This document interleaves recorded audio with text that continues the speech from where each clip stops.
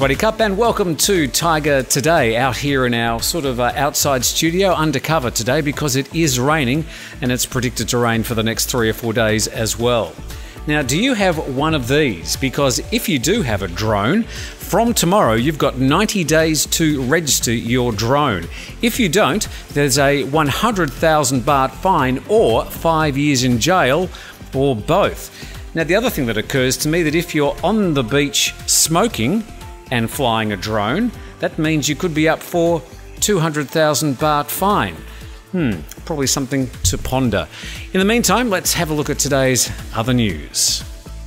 A senior Pheu Thai party member says that the key announcement by PM Prayut Chan-o-cha that the general election date will be announced in June next year and an election the following November builds up confidence among investors even though a ban on political activities remains in place.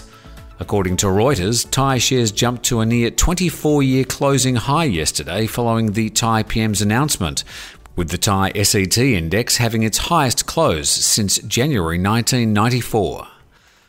Bar owners in Bangkok's infamous Soi Cowboy have been told to close their doors for three days during the upcoming funeral of the late King Bhumibol Adulyadej. The order has come from the Thonglor police.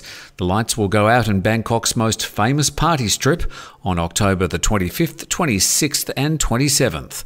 Meanwhile, His Majesty King Maha Vajiralongkorn has thanked people who have paid their respects to his late father in front of the royal urn over the past 12 months.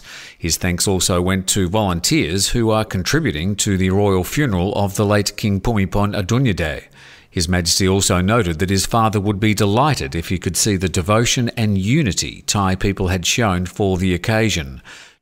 Thai Airways and Thai Smile Airways are increasing the number of daily flights during the royal cremation. The additional flights will operate from October the 23rd to the 31st. Thai Airways will add 11 flights between Bangkok and Phuket and 5 flights between Bangkok and Chiang Mai. 28 V 24 battle tanks from China have been delivered to Thailand six months ahead of schedule. Army Commander in Chief General Chalermchai Sitthisart says the early arrival will allow the Thai Army to utilise the vehicles faster than expected. The tanks arrived at the naval port of Tung Prong last Monday. They're the first batch of tanks purchased from China North Industries for 4.9 billion baht. They've already been moved to the Army Cavalry Centre in Saraburi Province for inspection and to be fitted with communications equipment.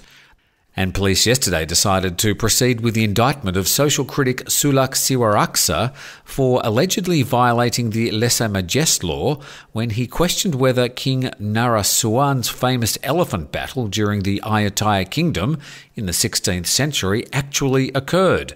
The decision follows almost three years of investigation as the 84 year old was brought yesterday to meet prosecutors at the Bangkok Military Court. The duel, in which the late king is said to have been victorious over the Burmese, is often regarded in Thai history as a momentous victory that freed Ayutthaya from Burmese rule. That's all the main news. And just looking around the weather in Phuket, we've got an 80% chance of rain really for the next three or four days. So, probably a wet period ahead, including the weekend. Uh, as for next week, well, let's hope it clears up. And for the poor tourists that have uh, come to visit the island, they'll get a bit of decent weather.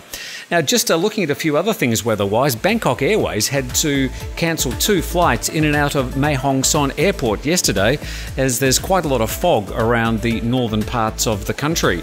And just a final comment for Mr. Malk Rowe. Malk wrote into Facebook yesterday complaining about how I mentioned the word ecotourism.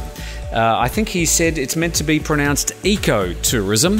Uh, I think I'd like to remind Malk and anybody else that there are so many different accents on this island that pronunciation becomes a very difficult problem.